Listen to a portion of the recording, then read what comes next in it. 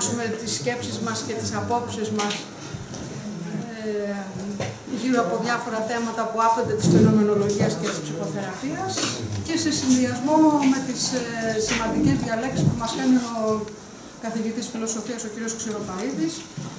Ε, έχουμε πάρει ένα έναυσμα από την προηγούμενη ομιλία του και έτσι σήμερα οι τρεις εκπρόσωποι των κέντρων, ο κύριος Ζαρογιάννης, ο κύριος Γιώργας και ο Αλέξης Χαρισιάδης, θα παρουσιάσουν τις σκέψεις τους γύρω από τον αναστοχασμό, την ενδοσκόπηση και τη θεραπευτική συνομιλία. Και τη θεραπευτική συνομιλία. Πολύ ωραία. Να ξεκινήσουμε λοιπόν. Ποιος θέλει να ξεκινήσει;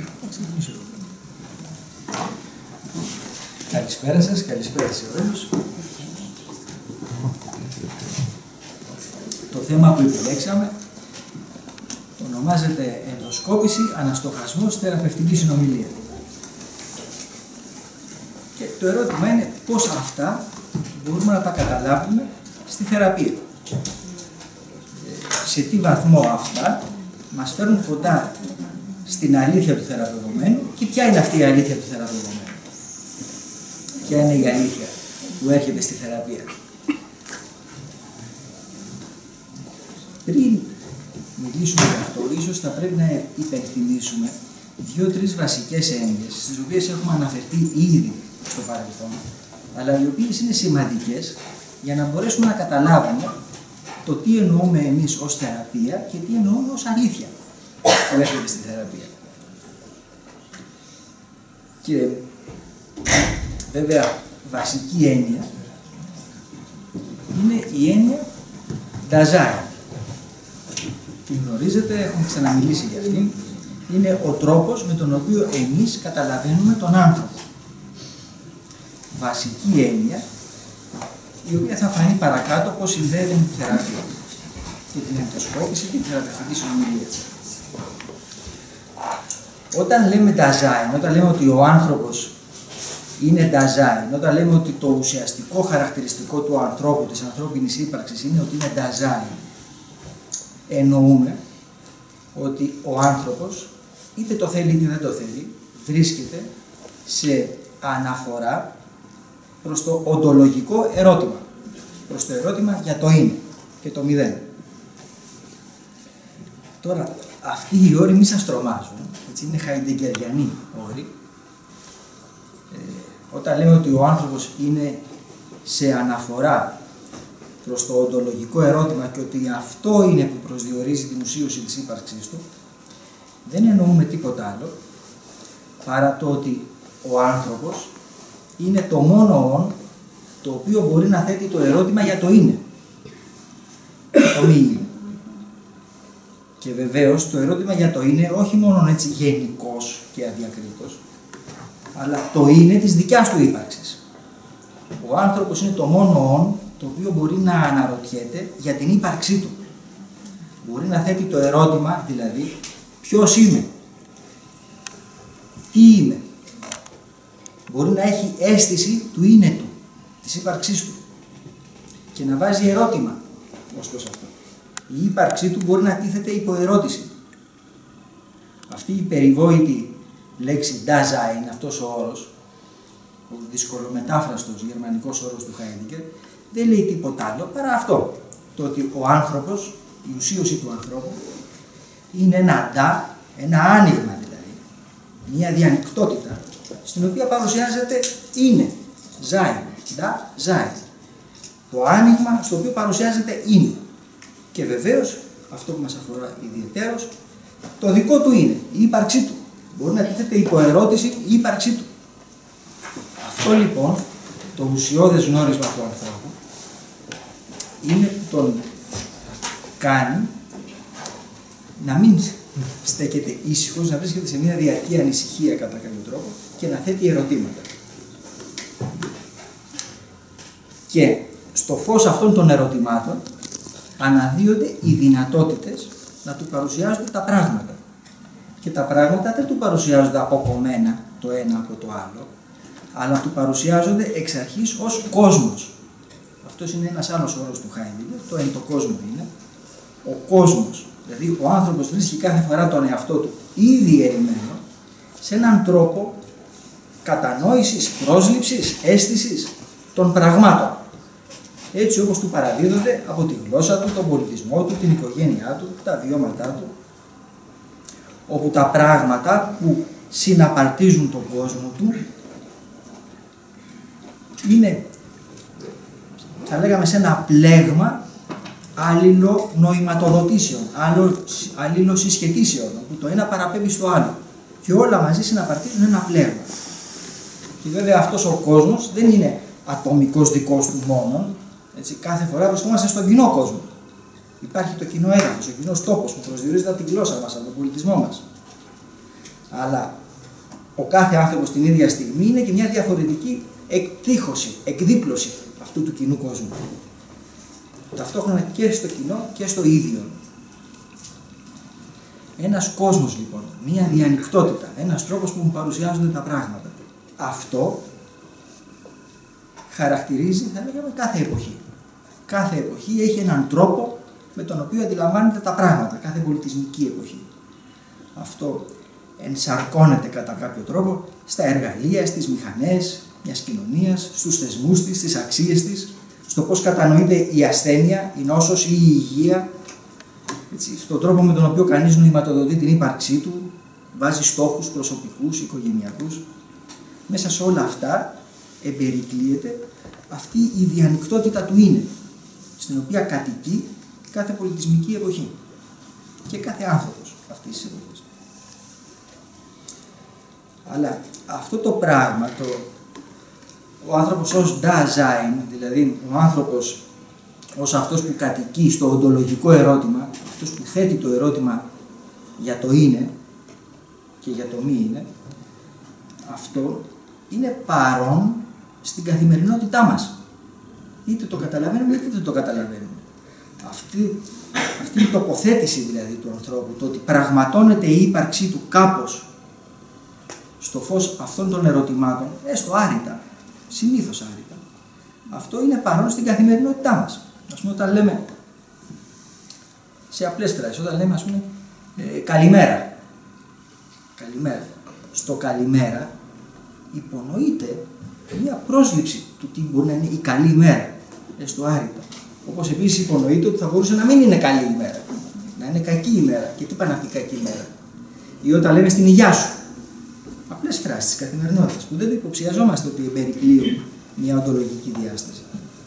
Ή όταν λέμε, ε, ξέρω, θα σε αγαπώ για πάντα, δεν θα χωρίσουμε ποτέ. Τι σημαίνει αυτό τώρα; Αυτό προϋποθέτει μια αίσθηση του για πάντα και του χωρισμού. Διαρκώς μέσα στην καθημερινότητά μας πατάμε κατά κάποιο τρόπο σε κάποιες απαντήσεις, ας το πω έτσι, κάποιους τρόπους πρόσληψης του οντολογικού ερωτήματος. Του παιχνιδίσματος είναι και μηδενός. Λέω είναι και μηδενός γιατί την ίδια στιγμή που μιλάμε για το είναι, έτσι, την ίδια στιγμή μιλάμε και για το μη είναι.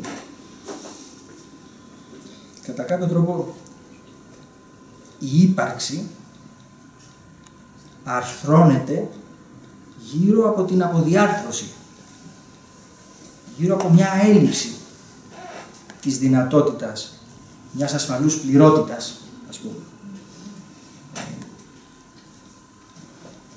η ύπαρξή μας αρθρώνεται γύρω ε, από την ασυνέχεια, γύρω από τις ρογμές.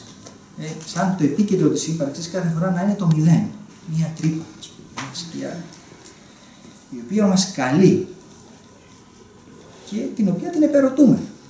Εμείς ο πολιτισμός μας και γύρω από αυτή την έλλειψη, γύρω από αυτή την αποδιάρθρωση ως δυνατότητα, είναι που αρθρώνεται κάθε φορά η νοηματοδότηση του πολιτισμού μας και της ύπαρξής μας. ξαναγυρνάω στη λέξη Dasein, όπου δείτε ότι αυτό ότι ο άνθρωπος είναι το «ον» που θέτει το ερώτημα για το είναι. Ο άνθρωπος του οποίου η ύπαρξη αρθρώνεται γύρω από το ερώτημα για το είναι και είναι και το μόνο «ον» ο άνθρωπος ο οποίος κατά κάποιο τρόπο έχει ως υποχρέωση να πραγματώνει την ύπαρξή του. Η ύπαρξη του ανθρώπου δεν είναι άπαξ διαπαντός δεδομένη. Ο τρόπος με τον οποίο είναι δεν είναι άπαξ διαπαντός δεδομένος.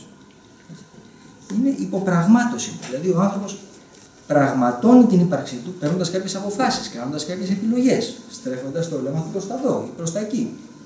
Και την ίδια στιγμή που λέει ναι σε κάτι, σε μια επιλογή, σε μια απόφαση, την ίδια στιγμή αυτομάτως λέει όχι σε άλλες δυνατότητες, σε άλλες πιθανότητες. Κάθε φορά που πραγματώνεται η ύπαρξη με έναν τρόπο, την ίδια στιγμή δεν πραγματώνεται αλλιώς. Κάθε στιγμή δηλαδή, κάθε φορά υπάρχει ένα υπόλοιμα.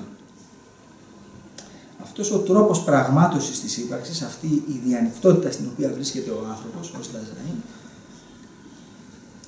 λέει ο Μερλό Ποντή, είναι κάπως, φανταστείτε το λέει κάπως σαν ε, το φως, ένα φως ενός προβολέα που πέφτει και φωτίζει κάτι, φωτίζει μια γωνιά ενός δωματίου. Και έτσι μπορούμε και βλέπουμε τα πράγματα που φωτίζονται. Έτσι, στα πλαίσια αυτής της διανυκτότητας μπορούν τα πράγματα που συναπαρτίζουν τον κόσμο μας να γίνονται ορατά, να μπορούμε να τα προσλαμβάνουμε και να υπάρχουν για μας. Ό,τι είναι εκτός είναι σαν να μην υπάρχει για μας. Δεν ονομάζεται, δεν νοηματοδοτείται. Λέει λοιπόν ο Μερλό αυτή η διανυκτότητα είναι σαν ένας προβολέας που φωτίζει, μια δέσμη φωτός που φωτίζει και εμείς βλέπουμε τα πράγματα που φωτίζονται, αλλά το φως που φωτίζει τα πράγματα δεν το βλέπουμε. Δεν γίνεται αντικείμενο της διερεύνησής μας το φως συνήθως που πέφτει πάνω στα αντικείμενα, δεν αναρωτιόμαστε. Βλέπουμε τα πράγματα που βλέπουμε έτσι όπως τα βλέπουμε και το θεωρούμε ως δεδομένο και αυτονόητο. Δεν αναρωτιόμαστε πώς φωτίζονται αυτά, τι είναι αυτό που το τα φωτίζει, θα μπορούσε να είναι και αλλιώς, υπάρχουν και άλλες δυνατότητες. Έτσι λοιπόν, θα λέγαμε ότι ο άνθρωπος, η ανθρώπινη ύπαρξη βρίσκεται διαρκώς σε ένα είδος, θα έλεγα, οντολογικής αβεβαιότητας. Δηλαδή τα πράγματα δεν είναι άπαξ διαπαντός δεδομένα και στατικά. Οι τρόποι με τους οποίους μπορεί να είναι ο άνθρωπος μπορούν και να αλλάζουν. Και είναι τρόποι που διαρκώς τίθεται υπό υπερώτηση και αμφισβήτηση. Βρίσκεται λοιπόν να αιωρείται ο άνθρωπος στο έδαφος μιας οντολογικής αβεβαιότητας. Δεν υπάρχει η δυνατότητα ασφαλούς, διαρκούς πληρότητας. Διαρκώς βρισκόμαστε εκτεθειμένοι σε μια αποδιάρθρωση, σε ένα δεν, σε ένα έλλειμμα. Οπότε στη θεραπεία τι γίνεται, η ενδοσκόπηση που λέγαμε, ο αναστοχασμός, πώς έρχονται στη θεραπευτική συνομιλία με αυτή την έννοια; Αποσκοπούν στην ανάδυση μιας αλήθειας η οποία ήταν κάπως θαμένη και εμείς τώρα την ξεθάβουμε, όπως είναι οι αρχαιολογικές ανασκαφέ, ας πούμε, που είναι το άγαλμα κάτω, ο αρχαιολογικός θησαυρός, βγάζουμε τα μπάζα από πάνω, τις επιχρωματώσει και αναδύεται αυτό που ήταν θαμένο, περί αυτού πρόκειται.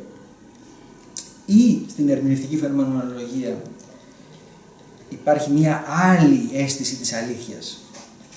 Η αλήθεια ως αυτό που κάθε φορά αποκαλύπτεται και καθώς αποκαλύπτεται την ίδια στιγμή συγκαλύπτεται κάτι άλλο. Την ίδια στιγμή που έρχεται στην επιφάνεια κάτι και αληθεύει, την ίδια στιγμή είναι σαν να μένει εκτός αυτής της επικράτειας, της αλήθευσης, να μένει εκτός κάτι το οποίο θα λέγαμε έχει μια ας πούμε φασματική ύπαρξη. Έτσι, κάτι σαν ένα μάγμα. Δεν ξέρω πώς να το ονομάσω. Είναι κάτι του οποίου κάτι σχηματοποιείται, από το οποίο κάτι σχηματοποιείται, κάτι αποκτά μορφή καθώς ονομάζεται στη θεραπευτική συνομιλία. Και τη στιγμή που ονομάζεται, υπάρχει, προκύπτει μπροστά μου ως φαινόμενο. Αλλά την ίδια στιγμή, ε, αυτό που, που είπα πιο πριν ως φασματική περιοχή, ε, κάτι το οποίο είναι μη ονομάσιμο, κάτι το οποίο είναι υπονοήσιμο. Κάτι βεβαίως το οποίο κανείς μπορεί να το νιώθει κάπως. Κάπως να το νιώθει και στο σώμα του και σωματικά. Ή στις λέξεις του να έρχεται, στο λόγο του. Λέει μια μητέρα, ε, μίλαγε για την κόρη της, τρίτη ηλικίου, τώρα δίνει, θα δώσει εξετάσεις σε λίγους μήνες και στεναχωριέται που δεν διαβάζει πολύ το κορίτσι και δεν μπορεί να μην πάει καλά και ποιο θα είναι το μέλλον του κοριτσιού και στη ρήμη του λόγου λέει και δεν μου αξίζει εμένα κάτι τέτοιο.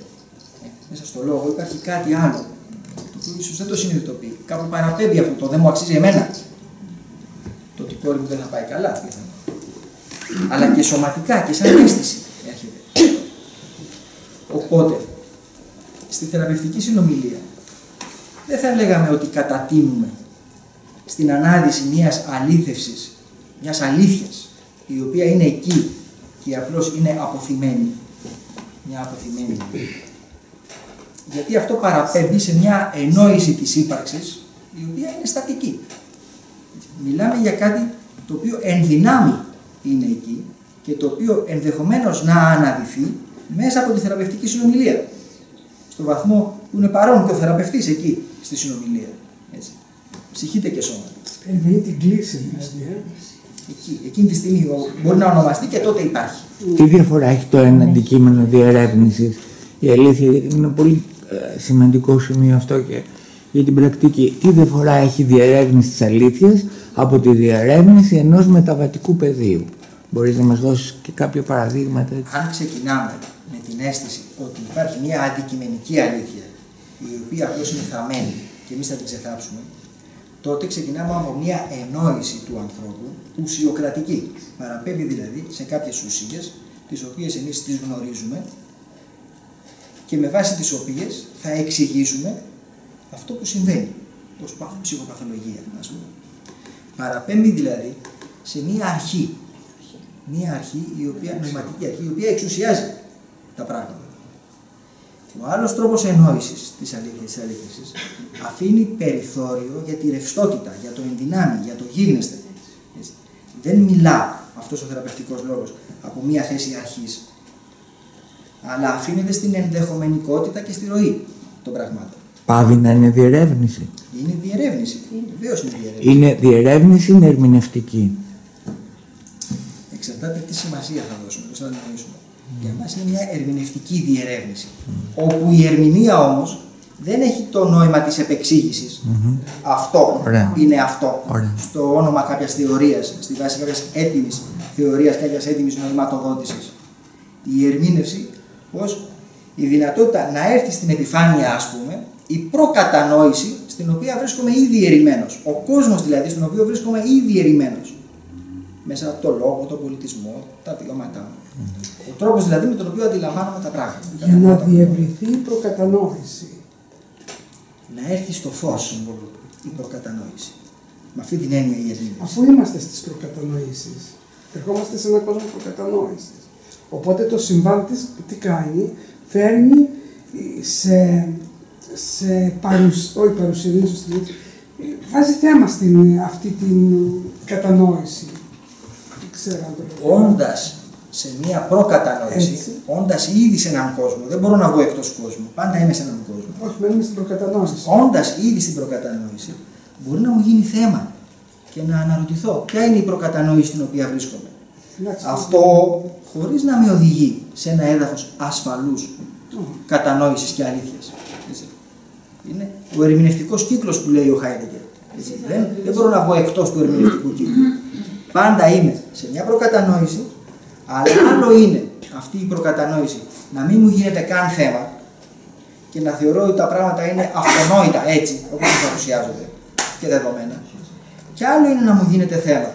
Συνήθως μέσα από ρογμές και προβλήματα. να μου γίνεται θέμα και να το υπερωτώ. Ποια είναι η προκατανόηση. Να διευρυνθεί η προκατανόηση. Η προκατανόηση μέχρι τώρα είναι σταθερή δεδομένη και έρχεται η κλίση και με υποχρεώνει να διευρύνω ή να αναπνίσω αν θέλετε. Να ανασάνει λιγάκι η προκατανόηση, να χαλαρώσει, να διευρυνθεί. Έτσι αυτά, να μην καταχρώμε το χρόνο. Ίσως δοθεί η δυνατότητα να μην διάσουμε στη συνέχεια. Ευχαριστούμε τον κύριο Τζογρά από την Ελληνική Εταιρεία Design Analysis. Περνάμε. από την εταιρεία Περνάμε σε μένα.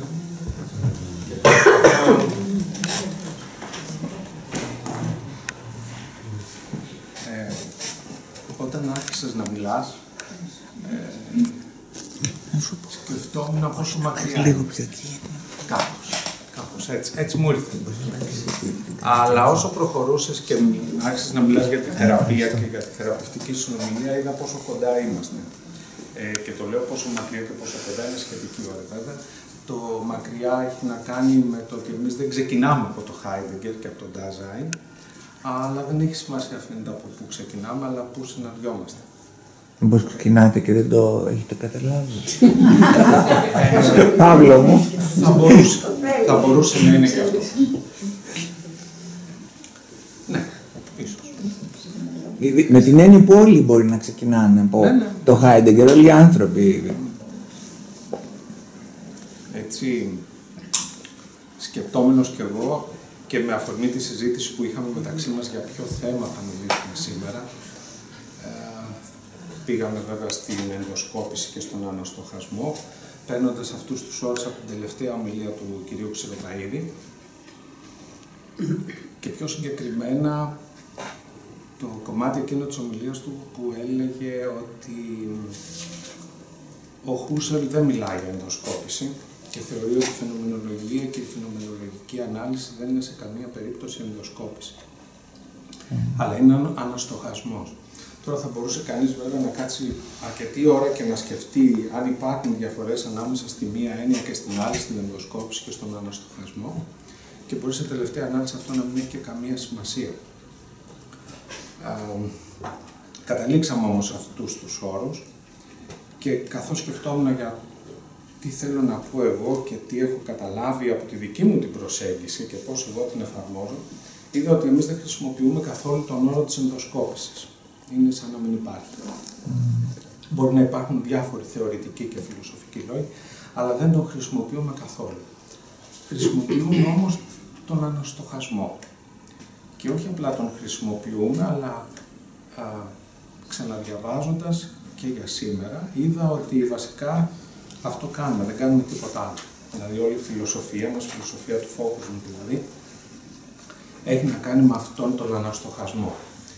Θα ήθελα όμως για να μπορέσω να σας πω πώς τον εννοούμε, να ξεκινήσω από αυτά που είπε ο Θανάσης στο τέλος και κυρίως κάποιες έννοιες που ανέφερε, όπως παραδείγματος χάρη προκατανόηση.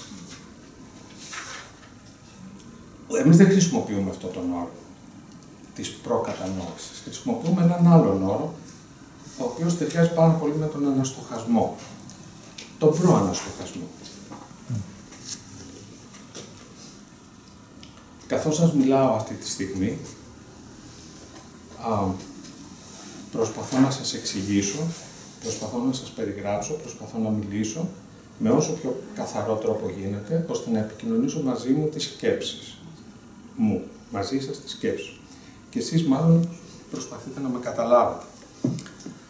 Αυτό είναι ένα επίπεδο επικοινωνίας στο οποίο μπορεί να βρισκόμαστε τώρα. Στην προσέγγιση μας λέμε ότι υπάρχει συγχρόνως και ένα άλλο επίπεδο, το καθαρά σωματικό. Α, τι εννοούμε με αυτό; Εννοούμε ότι στο χώρο εδώ που είμαστε, προτού και καθώς μιλάμε, υπάρχει και μια άλλη, δεν λέμε επικοινωνία, αλλά λέμε αλληλεπίδραση μεταξύ των σωμάτων μας. Κάποιος μπορεί να με κοιτάει ακόμη και να είναι πίσω μου, και εγώ να καταλάβω ότι με κοιτάει. Να το αισθανθώ όπως θα λέγαμε, ή μάλλον θα λέγαμε διαισθανθώ καταρχάς, αλλά εμείς λέμε, συγγνώμη για την καραμέλα, αλλά έχω το λαιμό, να, να νιώσω ότι κάποιος με κοιτάει. Όπως μπορεί να νιώσω όταν μπω σε έναν χώρο, να σφίγγεται το στομάχι μου. Ή όταν δώσω το χέρι μου σε κάποιον, να νιώσω κάτι. Αυτό για μας σημαίνει ότι πριν καν αντιληφθώ κάτι συνειδητά, και την έννοια της αντίληψης, όπως τη λέει και ο Μερλόποντι στη φαινομενολογία της αντίληψης, αυτό που θεωρούμε εμείς, ή μάλλον καλύτερα να λέω υποθέτουμε, είναι προτού καν αντιληφθώ κάτι, έχει υπάρξει μια αλληλεπίδραση, έχει το σώμα μου μέσα στο χώρο που βρίσκεται, στην κατάσταση που ζει, στη ζωή, στη θεραπευτική σχέση, το σώμα μου ήδη έχει καταλάβει κάτι και έχει νιώσει κάτι. Αυτό εμείς αυτή την κατάσταση, αυτή την αλληλεπίδραση την ονομάζουμε προαναστοχασμό. Υπάρχει δηλαδή μια προαναστοχαστικότητα η οποία έχει να κάνει ακριβώς με αυτή τη σωματική αλληλεπίδραση και σωματική γνώση. Το σώμα μου ξέρει πώς νιώθει εδώ μέσα, προτού εγώ κάνω το αντιληφθώ συνειδητά. Οπότε, εμείς δεν έχουμε λοιπόν την έννοια της προκατανόησης, αλλά μπορεί να είναι το ίδιο πράγμα. Έχουμε την έννοια της προαναστοχαστικότητας. Αυτό που σας είπα πριν με την έννοια αυτή, το σώμα μου ξέρει, ξέρει, νιώθει, δεν έχουμε καλύτερες λέξεις, αισθάνεται ότι όχι μόνο ζει μια κατάσταση, αλλά και αυτό που ζει το αφορά, με αφορά. Θα λέγατε ότι προσλαμβάνει κόσμο, το, τώρα έτσι πιο... Μπορούμε να πούμε πολλά μεταφορικά Το ή σώμα, μετωνυμικά, όχι, ναι το βέβαια. μέσο είναι- ότι Ναι, το μέσο ναι, είναι το μ. σώμα. Το σημαντικό είναι ότι θεωρούμε ότι με έναν τρόπο, όχι με έναν τρόπο, ότι ούτως ή άλλως αλληλεπιδρά, όπως εγώ τώρα αυτή τη στιγμή αναπνέω, χωρίς να έχω την προσοχή μου στραμμένη στην αναπνοή μου. Α πούμε ότι αυτό είναι ένα καθαρά βιολογικό φαινόμενο. Δεν γίνεται διαφορετικά. Αλλά όχι μόνο αυτό, αλλά και το σώμα μου αλληλεπιδρά με εσάς και με το χώρο και με οτιδήποτε, με έναν τρόπο που εγώ ακόμη γνωστικά δεν ξέρω. Αυτό ονομάζουμε ίσως εμείς κάπως προκατανόηση του κόσμου, ότι βρισκόμαστε στον κόσμο και ήδη επικοινωνούμε και αλληλεπιδρούμε. Σε αυτήν την κατάσταση, από τη στιγμή που κάτι με αφορά και το σώμα μου το νιώθει, υπάρχει ήδη ένα νόημα για μένα.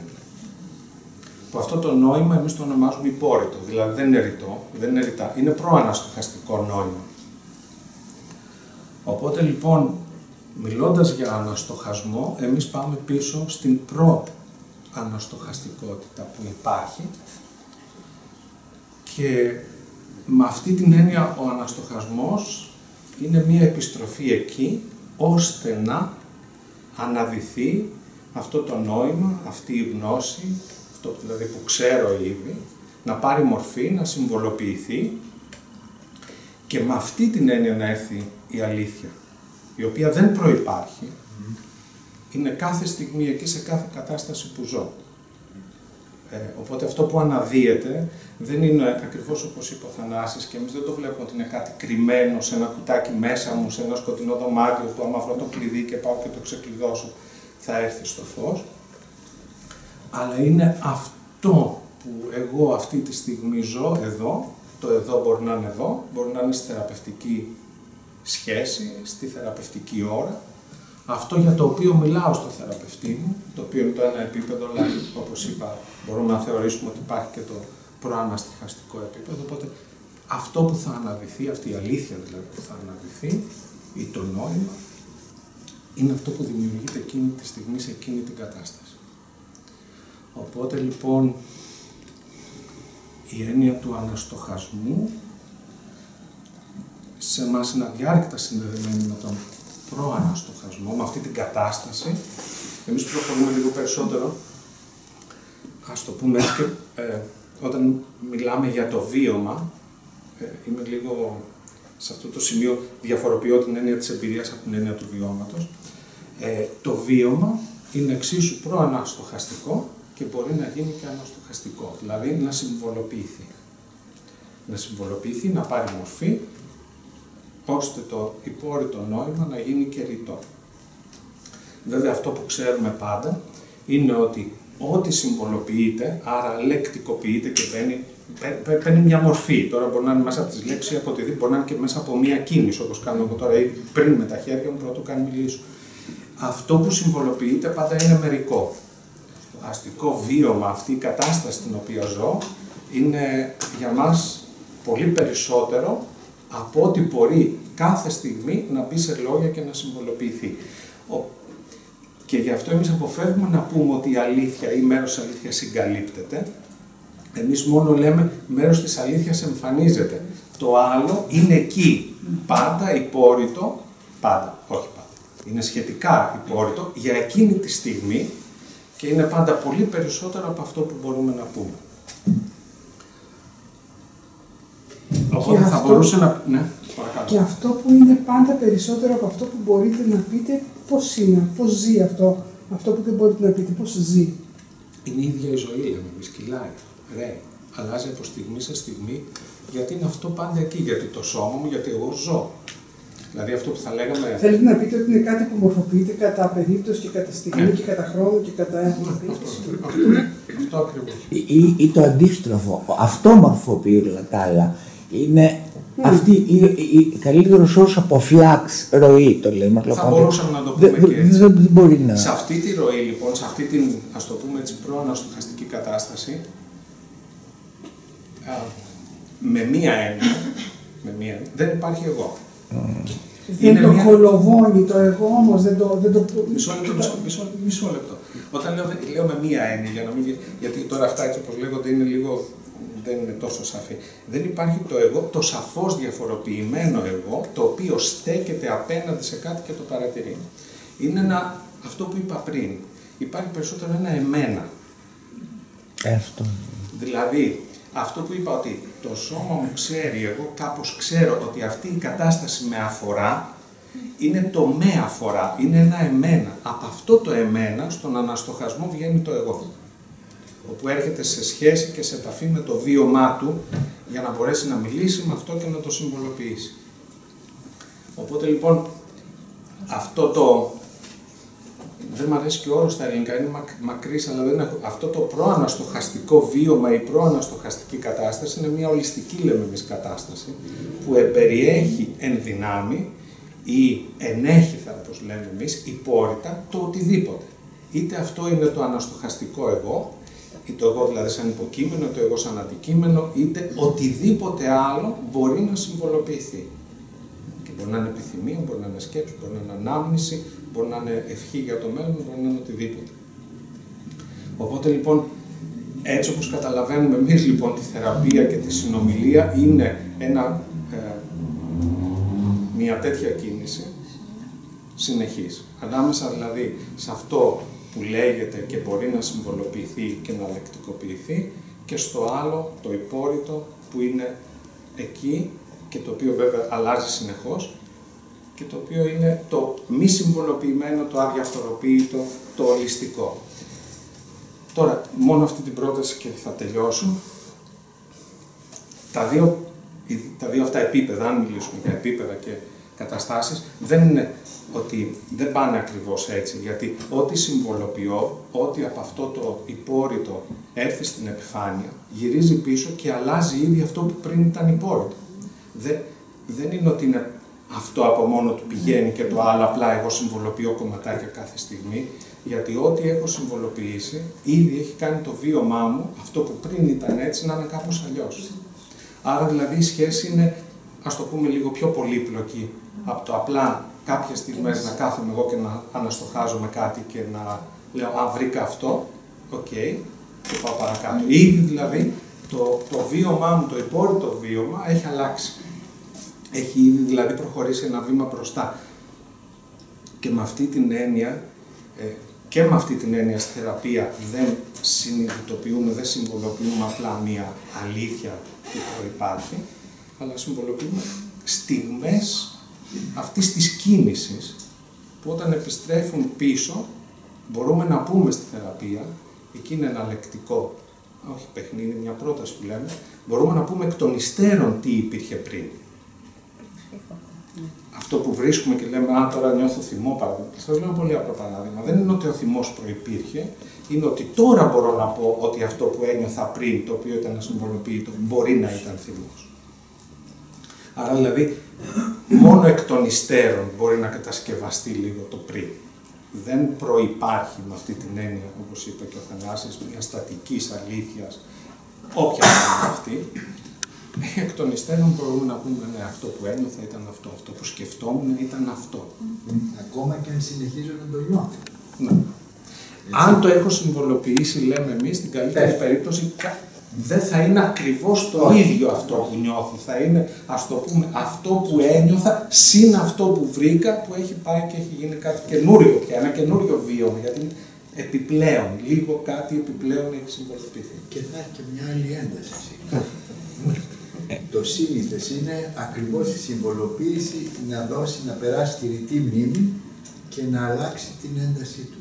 Μμμ. Αλλά, αλλά ε, ε, Καθώς γίνεται ρητό, επιστρέφει πίσω και αλλάζει αυτό που ήταν εκεί πριν. Ναι, στην άρρητη. Υπόρριτη.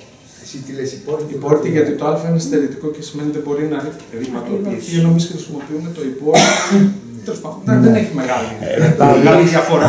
Implicit δεν μεταφράζεις. Ε, το Ναι, αλλά εδώ ήδη ε, μέσα σε αυτή τη διατύπωση εγκυμονείται και το, μπαίνει και η τρίτη χρόνης, μπαίνει και το μέλλον. Ήδη δηλαδή είναι κάτι που πρόκειται να. Αυτό λοιπόν στη δική σας α, προσέγγιση των πραγμάτων, πώς μπαίνει αυτό που το μη ακόμα αλλά ήδη όχι πια το μέλλον μέσα στην θεραπευτική πράξη; Γιατί ο θυμός ας πούμε, ο θυμός ήδη προετοιμάζει και κάτι που πρόκειται να γίνει. Αυτό, τίποτα, εκεί μένουμε. Το προετοιμάζει αυτό που πρόκειται να γίνει.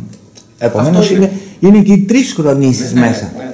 Και είναι ακριβώς αυτό. Ότι όταν έχω συμβολοποιήσει κάτι από αυτό που λέω ότι ήταν πριν, αυτό μου δίνει κατεύθυνση για το επόμενο βήμα στο τώρα, στο αύριο. Ωραία, Ναι. ωραία. Έτσι μπαίνει ακριβώς όπω το διατύπωση. Η σχέση μου με το υπόρρητο πώς εκφράζεται; Πώς είμαι στην καθημερινότητα; Πώς, πώς, το, πώς νιώθω, πώς ξέρω, πώς σχετίζομαι με το υπόρρητο, πώς είναι αυτό; Ε, Μπορεί, πώ. Ε, αναρωτιόμουν μήπως εδώ ακούμε άγχος, δεν ξέρω. Μήπως, Ορίστε.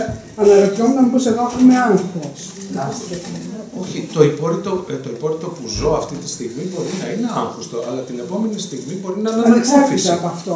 Ε, ε, εδώ θεωρητικά Ναι. λοιπόν βάζεις Παύλο ότι υπάρχει κάτι που ήδη γνωρίζω, το οποίο ε, γνωστικά Δεν το γνωρίζω γνωστικά. Γνωστικά μόνο όταν είμαι σε μια θέση αναστοχασμού γνωρίζω Α, γνωστικά αυτό που ονομάζω υπόρρητο. Και από το οποίο μπορώ να ανασύρω, ας το πούμε έτσι, ένα μόνο κομματάκι και να πω Α, αυτό που, τώρα, που νιώθω εδώ τώρα είναι άγχος. είναι σαν αυτό που λέμε εμείς κάλυψη, εκάλυψη, κάτι, Ναι, κάπου. κάπως έτσι. ναι.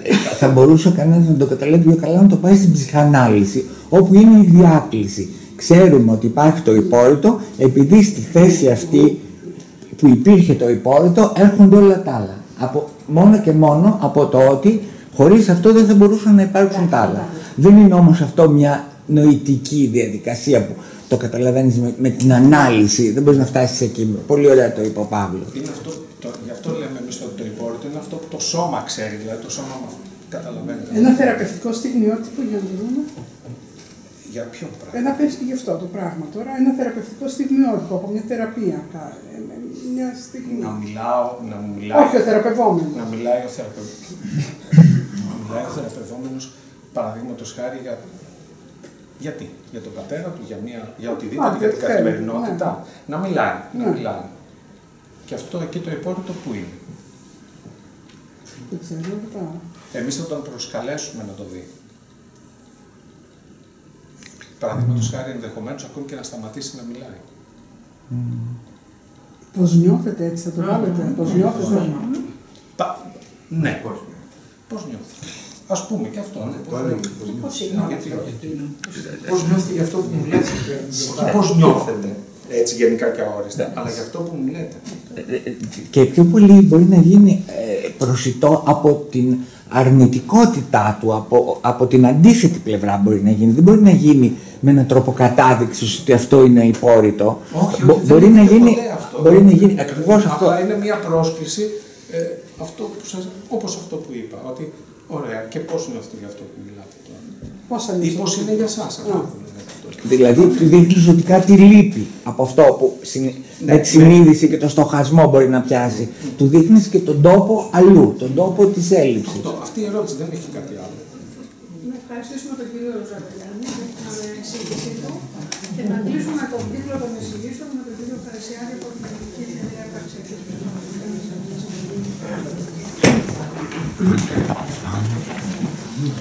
Παύλο, Παύλο, πολύ ωραία.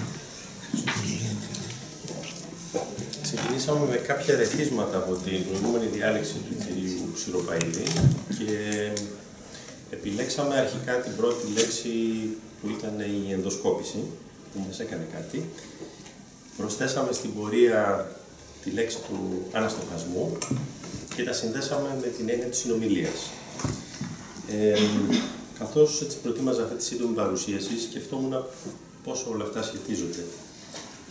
Και θέλω έτσι να δω τους, τον κάθε όρο ξεχωριστά λιγάκι. Έψαξα λίγο για την έννοια της ενδοσκόπησης. Και το πρώτο που είδα είναι ότι είναι ιατρικός όρος και σχετίζεται με το ενδοσκόπιο που είναι ένα εργαλείο που κοιτάζει τις κοιλότητες του σώματος. Μας βοηθάει να δούμε προς τα μέσα με λίγα λόγια. Οπότε ο άμεσος προβληματισμός μου ήταν ε, στην ψυχοθεραπεία υπάρχει μέσα, υπάρχει έξω, τι είναι μέσα, τι είναι έξω, τι είναι αυτό που κοιτάει προς τα μέσα. Και δεν υπήρχε μια άμεση απάντηση. Ε, οπότε είπα να απομακρυνθώ λίγο από τους όρους και τη θεωρία και σκεφτόμουν την θεραπευτική πρακτική. Και στη θεραπευτική πρακτική αυτό που είναι πολύ σαφές είναι ότι ε, συνήθως βρισκόμαστε σε μία από τις δύο ακραίες καταστάσεις, θα τις ονομάσω ε, την κατάσταση εξωτερικότητας, όπου ο θεραπευόμενος ε, χρησιμοποιεί όρους και λέξεις σαν να είναι αντικείμενα, σαν να είναι παγιωμένες μονάδες, τις οποίες τις μεταχειρίζεται, τις χρησιμοποιεί. Είναι έτοιμες φράσεις, είναι έτοιμες λέξεις, είναι έτοιμες έννοιες ε, και φέρνει στην αφήγησή του με έναν παγιωμένο τρόπο κάποια, κάποια τέτοια δεδομένα. Αυτό είναι το ένα άκρο και είναι το άκρο της εξωτερικότητας. Ε, το άλλο άκρο είναι το, το, η επαφή με την εσωτερικότητα, όπου εκεί πέρα η αίσθηση που έχει ο θεραπευτής ε, στον τρόπο που προσλαμβάνει την αφήγηση του θεραπευόμενου είναι πολύ διαφορετική. Και διαστητικά είναι πολύ ξεκάθαρο ότι εκείνη την ώρα ο θεραπευόμενος βρίσκεται σε μια διαφορετική ε, επαφή με κάτι, ας το πούμε, εσωτερικό, όπου ποια είναι τα χαρακτηριστικά που νιώθουμε, είναι η αβεβαιότητα, είναι ότι ε, υπάρχει η ροή, υπάρχει ρευστότητα, υπάρχει κάτι νέο που προκύπτει, το οποίο είναι αδιαμόρφωτο. Υπάρχει καμιά φορά έκπληξη με το αποτέλεσμα το οποίο ε, συνειδητοποιεί ο θεραπευόμενος όταν είναι σε επαφή με την εσωτερικό αυτό πυρήνα. Και μέσα από όλες αυτές έτσι, τις σκέψεις μου προέκυψε μια, μια εικόνα, μια αναλογία, η οποία ε, συγχρονίστηκε με αυτό που είπε ο Θανάσης για αμάγαμα. Ε, μου ήρθε η εικόνα του, του, ηφαίστειου, του ηφαιστείου και της ε, λάβας η οποία βγαίνει ρευστή από έναν πολύ ε, θερμό πυρήνα και βγαίνοντας από εκεί έρχεται σε επαφή με τον αέρα και το νερό, ίσως το νερό και στερεοποιείται. Αυτή την, την αίσθηση έχω ε, για την ψυχοθεραπεία, ότι όταν είμαστε σε πολύ βαθιά επαφή με τον εσωτερικό μας πυρήνα, είναι σαν να είμαστε ε, σε επαφή με κάτι που είναι πολύ ρευστό, αλλά στην προσπάθειά μας να γίνει λόγος, να βγει προς τα έξω, εκεί στερεοποιείται και, και περνάει στην πλευρά της εξωτερικότητας, παγιοποιείται. Ήδη, ήδη κάθε εκφορά λόγου ή και κίνησης μας μεταφέρει από αυτόν τον πολύ ε, θερμό πυρήνα από τον οποίο πορεύεται το βίωμα προς κάτι το εξωτερικό, προς κάτι το οποίο παγιοποιείται. Άρα υπάρχει μια συνεχής ε, πορεία από το εσωτερικό προς το εξωτερικό και αντίστροφα. Πηγαίνοντας στο αντίστροφα, πάω στην επόμενο όρο που είναι η λέξη της ε, ανα... πώς το πούμε; Αναστοχασμός. Ο αναστοχασμός έχει κάποια χαρακτηριστικά. Η λέξη σημαίνει ότι ξανά σκέφτομαι κάτι. Αυτό το ξανά έχει μια επανάληψη. Αυτή η επανάληψη εμένα με πηγαίνει στο ότι κάποια πράγματα τα οποία είναι προς τα έξω, καλούμαστε να τα ξανά επεξεργαστούμε και για να συνεχίσω την αναλογία την οποία έλεγα πριν, να τα φέρουμε προς τον πυρήνα. Και ο πυρήνας αυτός θα επηρεαστεί μεν από αυτή την καινούργια πρόσληψη, αλλά ταυτόχρονα θα επηρεάσει και τα, τα σχήματα. Θα τα αποπαγιωμένα θα, τα δώσει, θα τους δώσει μια άλλη ρευστότητα. Αυτό λοιπόν το πήγαινε έλα μεταξύ εσωτερικότητας και εξωτερικότητας είναι μεγάλο μέρος της ψυχοθεραπευτικής πρακτικής. Τώρα, εκεί θα, θα, θα πω ότι από την εμπειρία μου ως θεραπευτή, αλλά και από αυτό που διαβάζω και στην βιβλιογραφία, ότι είναι πιο παραγωγικό να δουλεύει κάποιος στην πλευρά της εσωτερικότητας παρά της εξωτερικότητας. Δηλαδή, θα έλεγα σαν συνέπεια αυτού ότι ένας από τους βασικούς στόχους της ψυχοθεραπείας είναι να διευκολύνουμε το να μπορεί ο θεραπευόμενος να δουλεύει από περισσότερο προς την πλευρά της εσωτερικότητας. Να είναι δηλαδή σε καλύτερη επαφή με αυτόν τον πυρήνα τον πολύ ε, δικό του, από τον οποίο πορεύεται όλο του το, το είναι και βρίσκεται εκεί. Οπότε σκέφτομαι ότι διαφορετικές προσεγγίσεις, ίσως με, με διαφορετικές μεθόδους, προσπαθούν να κάνουν ακριβώς αυτό το πράγμα. Είτε με διαφορετικές τεχνικές, είτε με διαφορετικά, διαφορετικές μεθόδους. Στην πραγματικότητα προσπαθούμε να διευκολύνουμε ή να παροτρύνουμε το θεραπευόμενο να κινηθεί προς την πλευρά της εσωτερικότητας και από εκεί να, να φέρει την, ό,τι, ό,τι είναι να φέρει, ό,τι είναι να προκύψει. Συνεπώς, το, ένα μεγάλο μέρος της θεραπείας είναι ακριβώς αυτό. Πηγαίνοντας τώρα στην υπαρξιακή ψυχοθεραπεία, έτσι όπως την, ε, τη σκέφτομαι, θα, θα, θα, χωρίσω, θα βάλω δύο μεγάλους, ε, μεγάλες ομάδες, οι οποίες διευκολύνουν στο, προς αυτή την κατεύθυνση, προς την εσωτερικότητα. Και θα πω ότι η μία κατηγορία, θα την ονομάσω η έμφαση στο εδώ και τώρα, και η δεύτερη κατηγορία θα την ονομάσω υπαρξιακή ενημερότητα.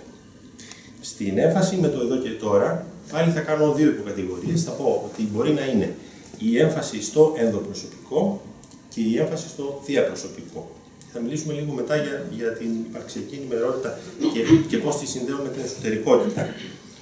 Ε, η έμφαση στο εδώ και τώρα είναι ίσως λίγο προφανής σαν έννοια, αλλά μας, μας υπενθυμίζει ότι η πραγματικότητα της ζωής είναι στο εδώ και τώρα, είναι σε αυτό ακριβώς που συμβαίνει αυτή τη στιγμή, το οποίο συνήθως το χάνουμε και βρισκόμαστε σε, σε άλλες διαστάσεις, ενώ συμβαίνει ζωντανά μπροστά μας. Καλούμαστε λοιπόν ε, ως θεραπευτές να διευκολύνουμε πάλι τον θεραπευόμενο με, με διάφορους τρόπους στο να έρθει σε επαφή με αυτό που συμβαίνει ακριβώς εκείνη τη στιγμή στο σώμα του, στην νόησή του, ε, μιλώντας τώρα για το ενδοπροσωπικό επίπεδο, ή αν πάμε στο διαπροσωπικό επίπεδο, εντοπίζοντας τη σχέση που υπάρχει μεταξύ θεραπευτή και θεραπευόμενου και φέρνοντας αυτό το υλικό προς αναστοχασμό στην πραγματικότητα. Ε, ο στόχος πάλι είναι να εντοπιστεί κάτι το οποίο είναι ζωντανό, είναι εκεί, είναι μπροστά μας, το βλέπουμε να συμβαίνει και του δίνουμε την ευκαιρία να να γίνει μέρος της θεραπευτικής διαδικασίας παραπέρα. Λοιπόν, η πρώτη κατηγορία, η βασική, είναι η έμφαση στο εδώ και τώρα και στην κατηγορία της υπαρξιακής ενημερότητας θα εννοώ το να είμαστε σε, σε επαφή με τα βασικά υπαρξιακά θέματα, όπως είναι ε, η θνητότητά μας και οι απώλειες, το ζήτημα της ελευθερίας, της ευθύνης, της υπαρξιακής μοναξιάς, της νοηματοδότησης. Και γιατί το, το κάνουμε αυτό, το κάνουμε διότι τα υπαρξιακά ζητήματα έχουν την τάση όταν όντως ερχόμαστε σε επαφή με αυτά να μας τρέφουν προς εμάς, προς τον πραγματικό μας αυτό, προς μια αυθεντική στάση η οποία διευκολύνει και μας οδηγεί στην καλύτερη περίπτωση όταν πάει καλά ε, θεραπευτική δουλειά προς, ε, προς την εσωτερικότητά μας. Και από εκεί ερχόμαστε λοιπόν σε επαφή με αυτό που είναι δικό μας, μέσα από τις προκλήσεις που μας παρέχουν τα επαξιακά ζητήματα και με αυτόν τον τρόπο ελπίζουμε ότι ε, δουλεύουμε στην ψυχοθεραπεία πιο παραγωγικά.